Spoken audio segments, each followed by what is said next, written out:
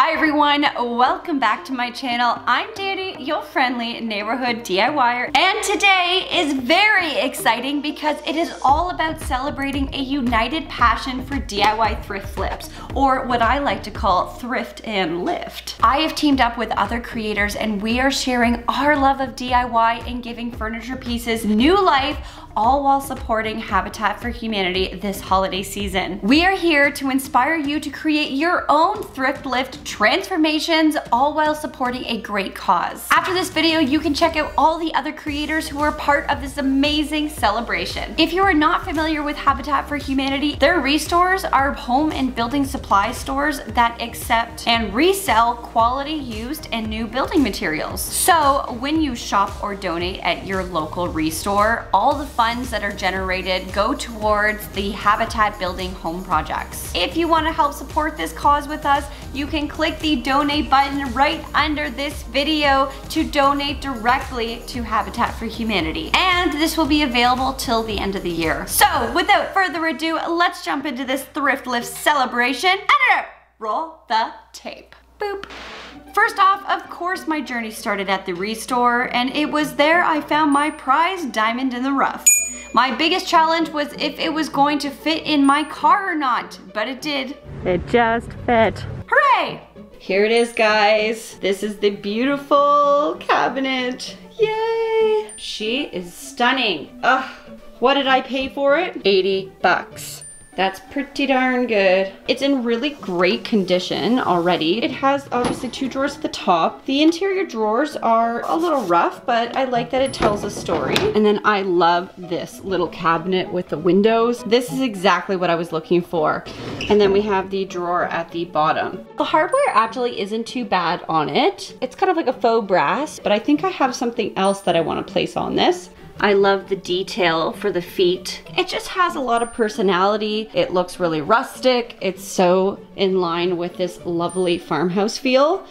Now, before we get thrift and lifting, let me show you the space that this is gonna go into. Ta-da! Welcome to the purple bathroom. The cabinet is gonna go actually in this little nook. I love it for this nook, mostly because I actually found an inspiration photo online. This was a Pinterest find, and when I saw it, I was like, this is what I need for my bathroom. Now, there are two cabinets on either side, but with the cabinet on the inside, I'm actually gonna have about this much room between where the cabinet's gonna sit that I can actually access this. So the items that I'm gonna put in here are like things that you don't want on display. It's like cleaning supplies and just like stuff that you don't want people to see. So that is what will go in there and the cabinet's gonna go in here. As you know, I titled this part one because there is going to be a part two to this video, which is going to result in me basically making over this entire space. But part one is about getting the right elements in the space so that when I do make it over, it all comes together nicely, you know? And I just wanted to give this cabinet a little bit of pizzazz, a little bit of character beyond the vintage character that it already carries. So let me show you what we're gonna do to it. So what am I doing to lift this thrift? The answer to that is decoupage. and while you're all like, wah, wah, stay with me because I feel like it's been a while since we've seen a really stellar decoupage. And on top of that, I don't think I've ever done one on this channel. So hopefully this is new to you guys. I'm gonna try to give you as many tips and things that I've learned about decoupage over the many years of decoupaging um, so that you feel like you get something out of this so it doesn't feel like just another episode of decoupage. For example, did you know that the word decoupage derives from the word découpe, which means to cut out? Did you know that? Now you do. And that's something you wouldn't have learned in a regular decoupage video, right? That's cool. so there's the first thing we've learned today. Cool. Cool, cool, cool, cool, cool, cool, cool, cool. I will not be decoupaging the exterior. I actually think it is quite lovely, but I will be changing out the hardware and I'm going to be focusing on decoupaging the interior of this entire cabinet so that it kind of feels like it has a moment on the inside, a little personality, kind of like the way we all should be. Beautiful on the inside and out. Anyways, I actually went and picked up a very special paper. This kind of paper is called Chiyogami. So it's like origami, but chi at the front, so Chiyogami. Chiyogami paper means paper of a thousand words.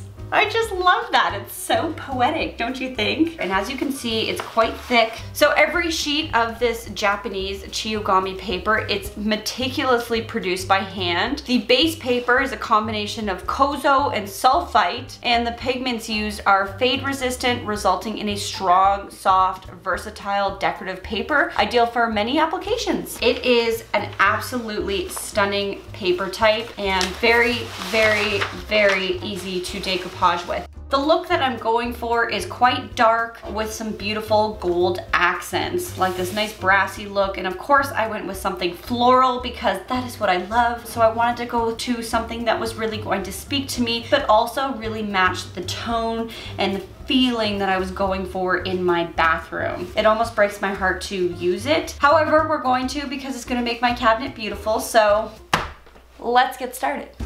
They didn't have enough of the same kind of paper that I needed, so I ended up getting two patterns that are very similar to each other. What I'm hoping is that the pattern that I like the most can be on the interior of the cabinet, and then the pattern that wasn't my favorite but still looks very close to it can go inside the drawers.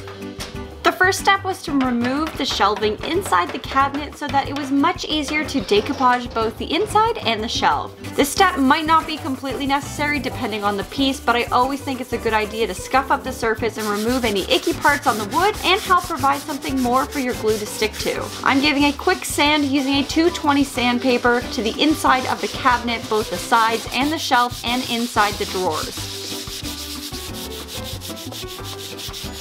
This is always the less glamorous part, but one of the most important, and that is to clean your piece. I provided it with a good vacuum. I'm not gonna lie, there were a lot of cobwebs on this thing. And then I wiped down all the surfaces with an all-purpose cleaner.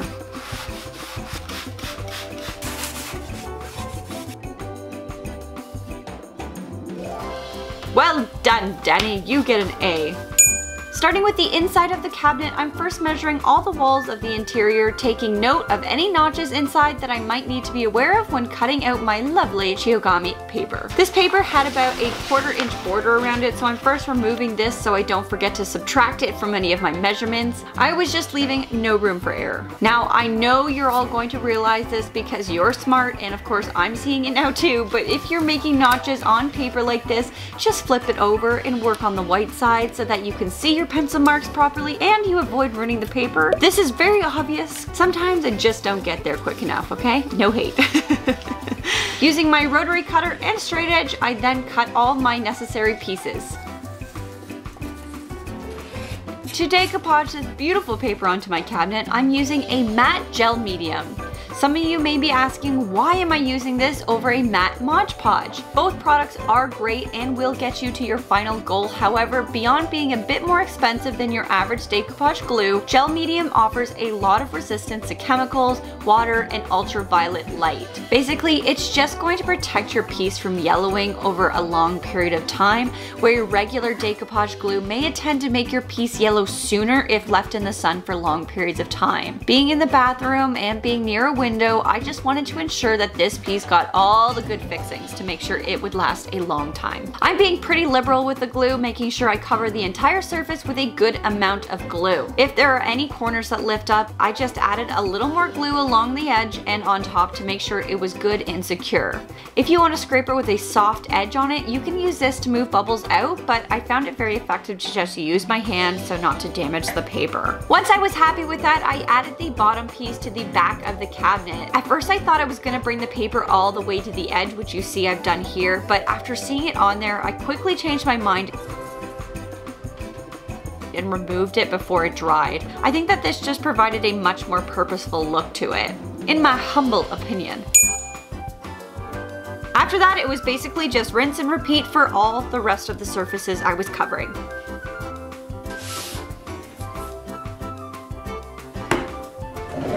Okay, I have all the interior of the cabinet drying now, all of the top pieces drying. This one looks a little wrinkly, but the bottom of it was actually morphed, so it's not. It looks lovely. So what's gonna happen is this is gonna dry overnight, get nice and hard, and then I'm gonna do a top coat over top of this, and then it's gonna harden and seal very nicely. So I had some thoughts today. Well, I was gonna use the other paper to wallpaper the sides, but I kind of got this idea that maybe it would be just nice to chalk paint both these sections black, especially that little back piece too. Like leave this, but do the back and that piece black. It actually might be quite nice. So I'm gonna sit on it and see how I feel tomorrow. So with that said, I will see you guys tomorrow. So it was the next day and after noodling the chalk paint idea, I definitely decided it was a good idea and I went for it. Using the Annie Sloan chalk paint Athenian Black left over from my cabinet, you all know that cabinet, I carefully painted all four interior sides, leaving the outer sides exposed in the wood. Again, I just felt that this decision made it feel more purposeful looking. I love how matte it looks. I don't think I'm gonna put a wax on top of it because this isn't really like a high traffic area. I'm not really worried about it, but I think it looks amazing. And when you step back and look at it, it just looks great. I'm very happy with the decision. I'm gonna get started on adding in the gel medium on top of all of this, kind of seal it all together and uh, then I'll get start getting the hardware. Did I show you guys the new hardware? I don't know if I did. I can't even remember what I filmed yet. So this is the new hardware. I actually repoed this off of an old dresser that I owned way back in the day. I love the handles, so I kept them, hoping one day that I will find a use for them. It is the perfect size for this cabinet. Literally don't even need to drill new holes, just pop them on and it's gonna be beautiful. So happy. I'm ready. Are you ready? Are you are you ready? I'm ready. Didn't know who to point to. You. After applying the top coat, it really started to show the creases that were created by the underboard, but I wasn't worried about it because once it was dry, you weren't going to see this at all, so don't be afraid if your piece ever shows this too. Just trust the process, friends. It's gonna be okay. If you're decoupaging an old piece like mine, the wood tends to be a little bit warped and you're gonna get creases like this anyways, so don't be afraid when you see that. In the long run, those little creases are the last thing you see when looking at this cabinet. It's like embracing the world of wabi sabi. All those imperfections are really what makes the piece beautiful to begin with. You're so beautiful. Oh my goodness. Love it. Ooh. I'm sorry, but like, that's just stunning. It is beautiful. From this hardware to the gold brass. Oh, it's so pretty. I loved the way this cabinet turned out. While the changes weren't massive, the small changes that I did make, like updating the hardware and adding the beautiful floral Chiyogami paper inside, it really made this piece feel like it took on new life. It really did feel lifted. It's going to be the perfect vintage looking piece to add to my bathroom and I cannot wait to see how it looks in the completed space. I just love it and it expresses my personality so much and that's what pieces in your home should do. I was just happy that I could take someone's trash and make it into my shiny treasure. It's a true hero story if you know what I mean. So now that we have the thrift and lift portion of this programming complete, I want to show you the second part to part one that we are going to complete before the big makeover happens. So recently, um, Jeffrey and I started to pull up the floor upstairs just to see what we were dealing with underneath and what came up was brilliant and you can see that it does go into the bedroom as well but knowing that we have that, um, I'm pretty confident that this actually goes into the bathroom area. And to be honest, I would rather live right now with this floor than this floor. This is just a laminate mat. It's like a faux tile, it's not real, and it sits on top of a piece of plywood like this. And you basically just cut it to your room and Bob's your uncle. I just think that having the original wood floors in here would be so beautiful. It would make it feel so farmhouse, so original. So my hope is to remove this floor and hopefully in a perfect world, this is what will be underneath. And if not, then it looks like we'll probably be investing in some tiling. First things first, we gotta rip up some baseboards.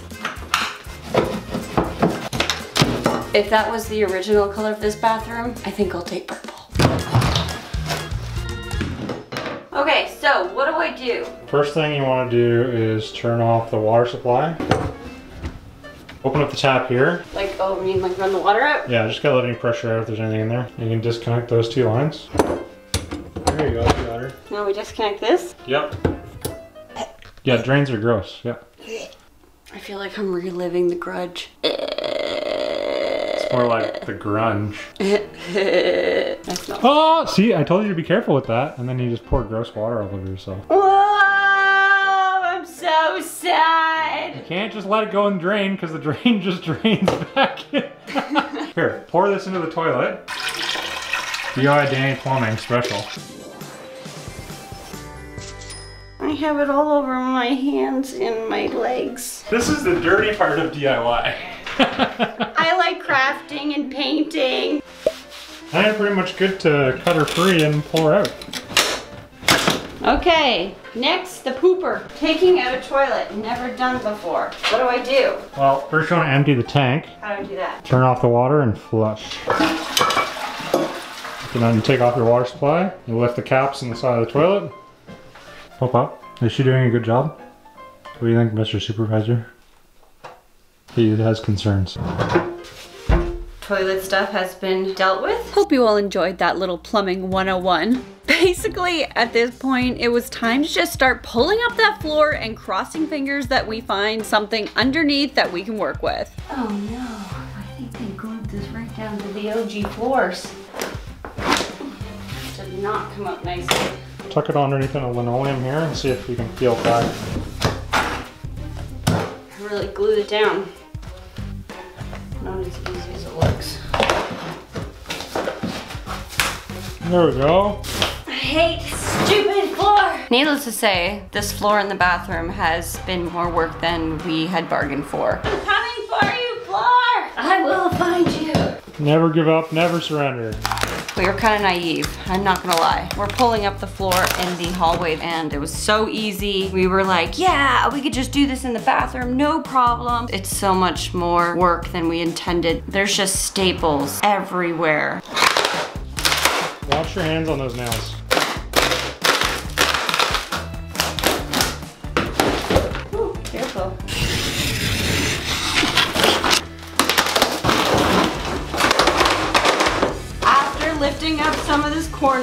This is what we found underneath and it is in great condition. It is a great color. Very happy about that. I'm just glad that there's floor underneath this. If we had ripped all this up to find out that there wasn't really anything underneath, that would have been bad. There's a light at the end of the tunnel. Bathroom renos in old, old houses. Super fun. The next day, using my oscillating tool, I started to cut away any of the OSB board that ran under the wall.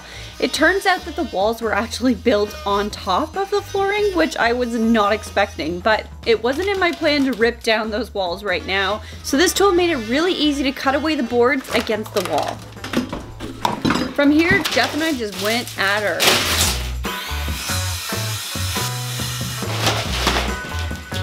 And after many hours of ripping and hammering, we were left with this.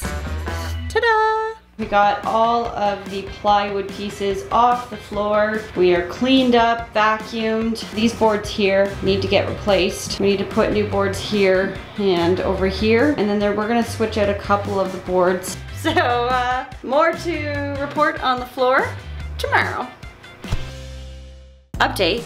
Jeffrey and I went outside and we cut all these new pieces. These are all the new support pieces that we've built into the floor so that there's a little bit better support underneath us.